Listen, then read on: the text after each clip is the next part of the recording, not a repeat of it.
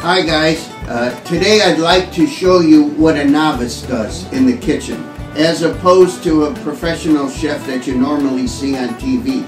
Here I have a bread mix. It happens to be a low carb bread mix, but I don't think it matters. Uh, the results are going to be bad or good depending on my performance today. So, hang with me and let's see what comes of this. Okay, it says that uh, in a mixing bowl, I have that, add warm water, 90 degrees to be exact, yeast, which comes in the package, and a teaspoon of the bread mix. Okay, there we have a three quarters cup of water and it's uh, reading 91 degrees.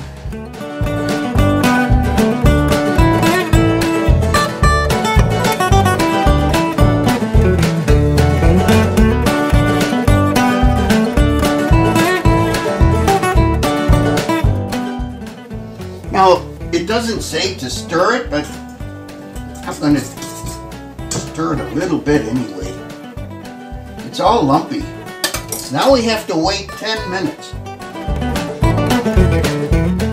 This recipe calls for three quarters of a cup of heavy whipping cream.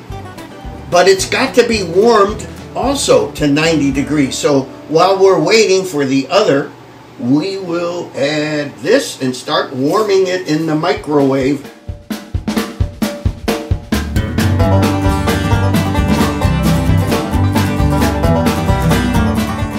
Now the recipe calls for two tablespoons of canola oil.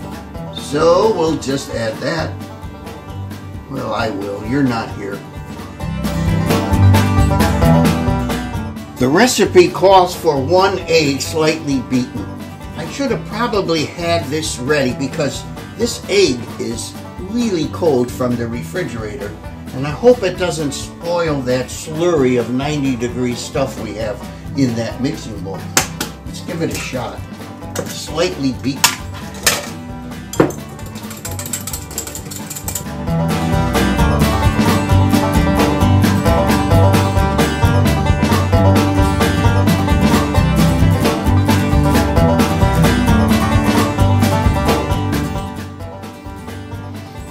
Okay, it says to knead this, um, but my hands are old and tired, and um, I got this uh, as a gift from my wife, this electric mixer, and I looked it up online and it says when kneading bread, use a dough hook. So that's what I'm going to do. Well, uh, I mean, why bother for six to eight minutes by hand when I have this electric gadget?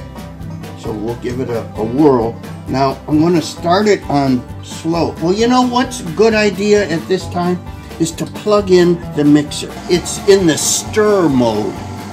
Maybe I'll go up just one. Now, because I can't possibly do this much action by hand, I'm only going to knead it for, let's say, five minutes. It's just a wild guess. I have no idea what I'm doing. We're only a minute into it, and, and things are starting to happen. It's starting to look like a like a light uh, brown dough. We're three minutes in and it's looking almost like it's ready. I don't know what ready is. Uh, so if you have any advice, give it to me. Post it. Here's what it looks like falling off the dough hook gradually. Oh my gosh. It feels very elasticy rubbery almost. Then it says to turn it over, I guess to make sure that it's all greasy. We're supposed to cover this. Look at this, it's falling apart.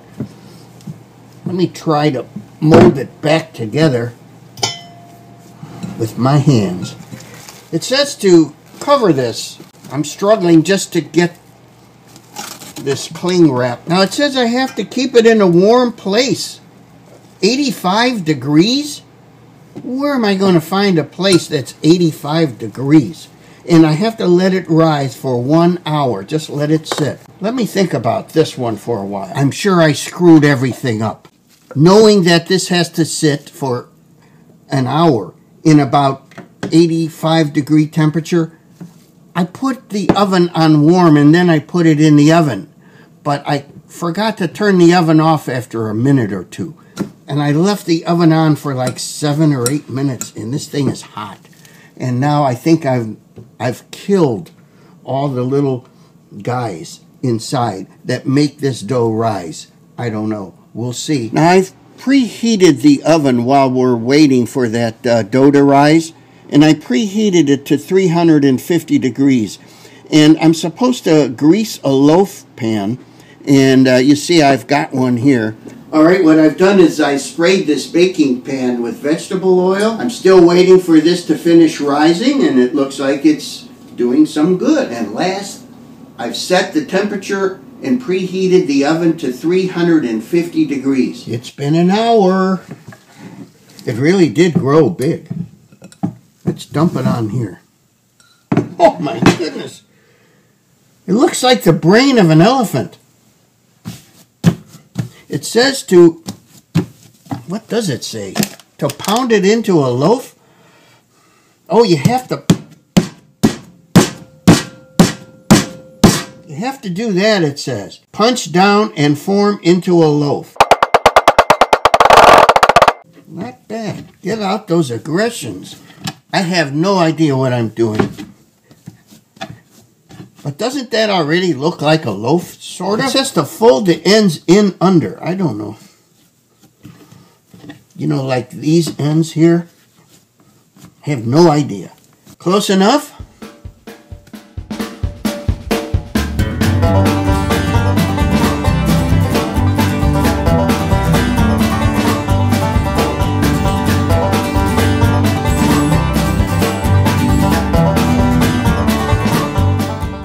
I think that'll work. The directions call for spraying the top with vegetable oil. That's enough. Well, here we have the loaf and the oven is ready, so let's get started. It says 50 to 60 minutes in the 350 degree oven, so I think I'll do 55 minutes right in the middle. I can't wait.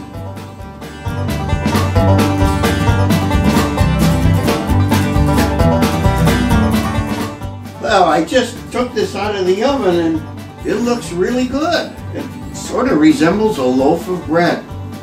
I'm going to let it cool and then slice because the directions said so.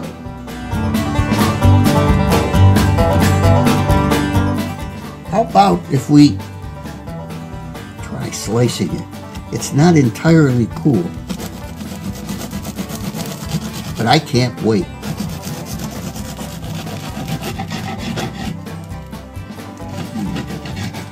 Wow, that's hot. Feels beautiful. It feels soft, delicate, yet crisp on the on the outside, which is what I love. I think this will work. I'm going to put a little butter on the heel here that I've cut. Taste test. Well, as you see, I've been eating the heel of this bread with some butter on it, and it's really tasty. And um, according to the package, if you slice it thinly, uh, each slice is five net grams of carbohydrate. So, not bad, not bad. And look, even I could do this, and it resembles a real loaf of bread. I think it's pretty darn good. Thanks for watching.